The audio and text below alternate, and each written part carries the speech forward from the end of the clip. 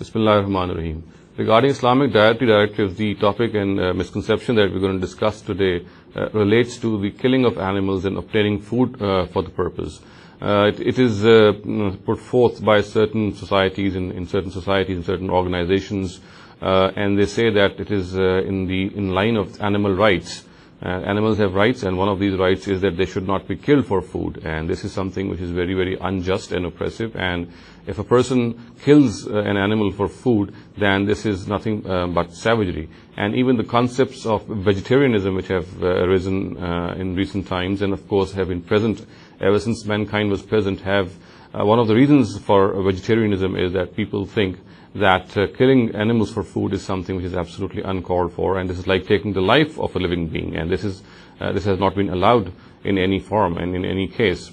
And um, uh, uh, if we go on to look at this misconception, we'll, we will find that it has arisen simply because man has at times failed to benefit from divine guidance and from the guidance which God has revealed to them for this very purpose. Now, if we read the Quran, the Quran is very explicit. It says that these animals have been created for the benefit of man. They have been put to service for man. Thus, for example, we obtain milk from them. We use their hides. We use their other parts of body for our own purpose. And uh, one of these purposes uh, is that we obtain food from them. We slaughter them to obtain food for them. And the Quran has mentioned it, uh, this at, at, many places. And one of the places mm, which it uh, explicitly says so is that Allahu allazi ja'ala lakumul an'ama litarkabu minha wa minha ta'kulun. It is God who has provided you with beasts that you may ride on some and eat the flesh of others. So, as the verse itself says, that it is God who has uh, uh, put these animals into service of man, and there are many benefits and many uses uh, uses of these animals. And one of these uses is that we slaughter them and and use them as food. So, therefore, if we slaughter these animals, it's not like taking a, the life of a living being uh, vis-a-vis and equate it, uh, for, for example, to the to taking the life of a human being.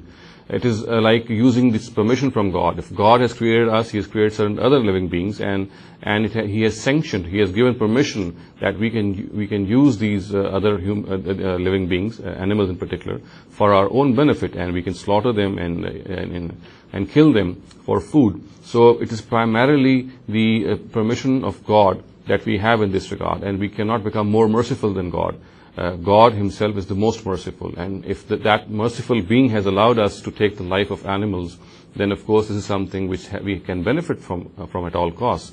And we also know that whenever we take the life of a of an animal, we say takbir, Bismillah Allahu Akbar, which itself signifies that we are we are slaughtering this animal in the name of God and in no other name. And and of course, um, this is one of the expressions of the permission that, which has been granted.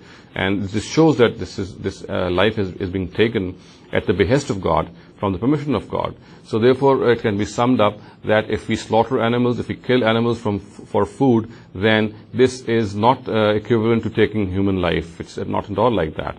And uh, we, we are doing this because primarily animals have been, they have been created for this very purpose. There are many purposes, uh, which all of which, of course, uh, relate to the service of man. But one particular purpose is that we can use these animals as food. We can kill them, we can slaughter them, and use their meat and flesh uh, to eat food. And this is a divine permission which has been granted to us. And we cannot become more merciful uh, than the Creator. And we, we, we are absolutely, uh, it would be okay if we benefit from this permission. أقول قولي هذا واستغفر الله لي ولكم ولسائر المسلمين والمسلمات